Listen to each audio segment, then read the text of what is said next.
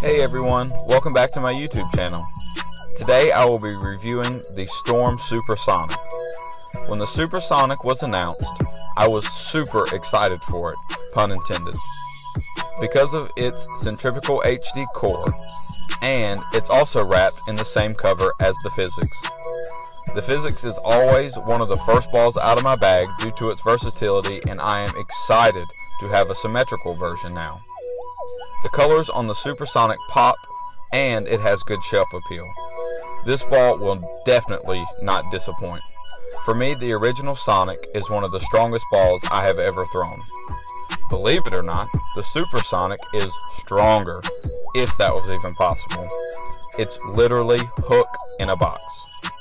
As you can see by the videos, the orange color really stands up in the mid lane and drives hard through the pins. I love to see that. If you can control the mid lane, you can control the pocket.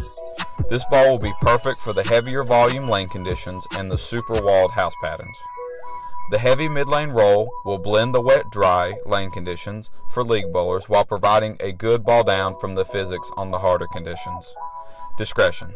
Players with higher rev rates and or low ball speed should consult with their local Storm VIP Pro Shop operator before drilling one of these. This ball is strong, and other Storm and Roto Grip bowling balls may fit your game better.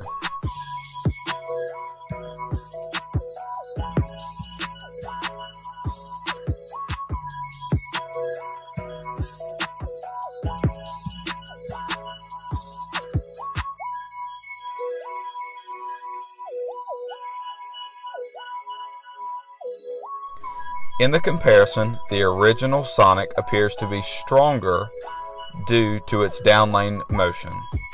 But overall, the Super Soniq is about 2 to 3 boards more. I think this ball will be great for the oilier lane conditions, and when they start to break down, you can progress from a Super Soniq to a Soniq with ease.